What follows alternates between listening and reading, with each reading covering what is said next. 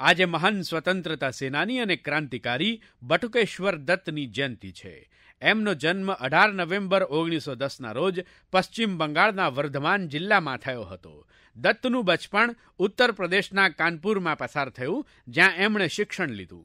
ક્રાંતિકારીના રૂપમાં એમના જીવનની શરૂઆત કિશોરાવસ્થામાં જ થઈ ગઈ હતી. જ્યારે એમણે કાનપુરના મોલ રોડ પર અંગ્રેજોને એક ભારતીય બાળકને ક્રૂરતાથી મારતા જોયા, આ બાળક એ રસ્તા પર ફરી રહ્યું હતું જે ભારતીયો માટે પ્રતિબંધિત હતો. આ ઘટનાનો બટુકેશ્વર દત્ત પર ઊંડો પ્રભાવ પડ્યો.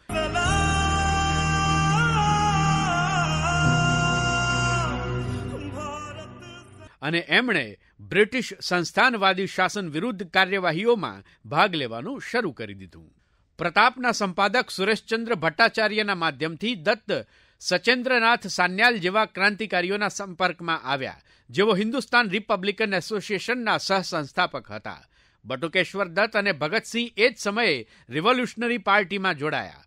કાનપુરના રોકાણ વખતે એમની મિત્રતા ગાઢ થતી ગઈ. દત્તે બંગાળી ભાષા શીખવામાં પણ ભગતસિંહની મદદ કરી અને કાજી નજરુલ ઇસ્લામની કવિતાથી એમનો પરિચય કરાવ્યો, જેને તેઓ અવારનવાર ગાતા હતા. આઠ એપ્રિલ ઓગણીસો ઓગણત્રીસમાં જ્યારે ટ્રેડ ડિસ્પ્યુટ્સ અને પંજાબ સેફ્ટી બિલ્સના વિરોધમાં બટુકેશ્વર દત્ત અને ભગતસિંહે સેન્ટ્રલ એસેમ્બલીમાં ધુમાડા ભરેલા બોમ્બ ફેંક્યા, તો એમણે નિર્ભયતાથી ઇન્કલાબ જિંદાબાદ અને સામ્રાજ્યવાદનો નાશ થાય એવા સૂત્રો પોકાર્યા.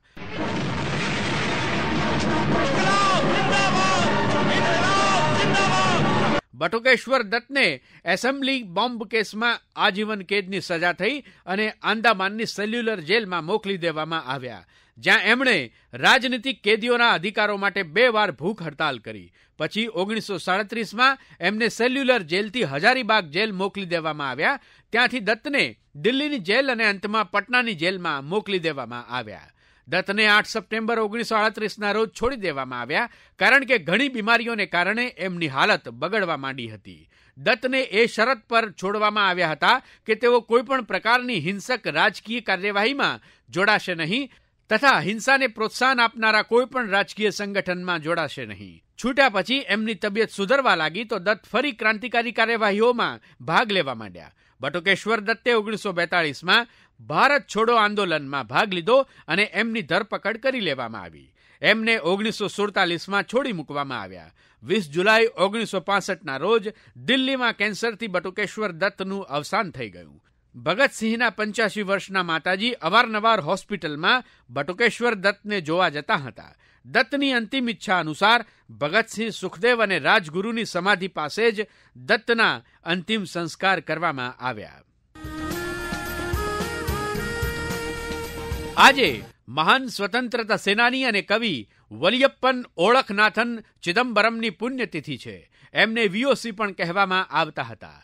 તેઓ કપ્પા લોટિયા તમિઝન અથવા ધ તમિલ હેલ્સમેનના નામથી પણ પ્રખ્યાત હતા மேலை கடல் முழுதும் கப்பல் விடுவோம் பள்ளி தலம் அனைத்தும் கோயில் செய்குவோம் எங்கள் பாரத தேசம் என்று தோள் கொட்டுவோம் எங்கள் பாரத તેઓ પ્રસિદ્ધ વકીલ મજૂર સંઘના નેતા અને ઇન્ડિયન નેશનલ કોંગ્રેસના પણ નેતા હતા ચિદમ્બરમે કોલસાની મિલોના મજૂરોને સંગઠિત કર્યા અને એ રીતે સ્વદેશી આંદોલનના સામાજિક આધારનો વિસ્તાર કર્યો. આખરી કસોટીમાંથી પસાર થયા પછી એમણે બ્રિટિશ ઇન્ડિયા સ્ટીમ નેવિગેશન કંપનીના એકાધિકારને પડકાર આપવા માટે ઓગણીસો છમાં સ્વદેશી સ્ટીમ નેવિગેશન કંપનીની સ્થાપના કરી.